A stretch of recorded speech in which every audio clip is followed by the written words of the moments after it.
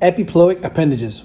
What are they? Where it comes from, what it does, why is it doing what it's doing? Get it out of my face. So I've covered epiploic appendages and epiploic appendagitis before, but epiploic appendages are these little fat outpouchings or pedunculated fat along the colon wall. Usually there's two rows on the ascending colon, two rows on the descending colon, and one row on the transverse colon. There's usually 50 to 100 of them.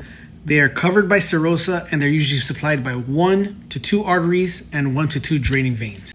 The length of these appendages vary from about 5 millimeters to about 5 centimeters. Now, when one of these twists or become torsed, naturally the, the tissue suffers from ischemia, edema, and then necrosis. So, when one of these twists, you get what's called epiploic appendagitis. Now, epiploic appendagitis is more common in obese males in their 40s but it can happen to anyone.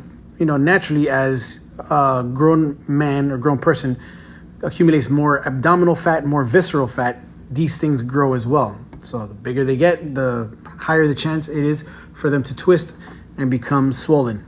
So on a coronal CT right here on the left side, you can see that there's some hypodense area there of the fat and some fat stranding. So the fat is a little bit brighter than the fat over here. And here in ultrasound, what you're gonna see is the fat here. It's triangular in shape, echogenic. It's gonna look edematous. It's a very subtle finding. It's not something you can easily miss it. Here's the descending colon right here. And right next to it is this area of fat that's echogenic. It's not really a hyperemic or anything like that. And here's a dual image with the measurement of the epiploic appendage or epiploic appendagitis. So again, very subtle uh, the echogenic or edematous fat is going to look very similar to the fat edema you would see in an appendicitis case. So this is a, also a great mimicker of appendicitis. However, if it's on the left lower quadrant and the patient does not have situs inversus, you know that this is a case that's not appendicitis.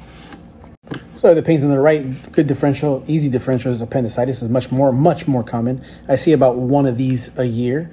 Uh, these can be easily missed. On the left side, uh, differential diagnosis could be omental infarction or maybe a case of like diverticulitis or something like that. All right, so I hope this helps. Bye.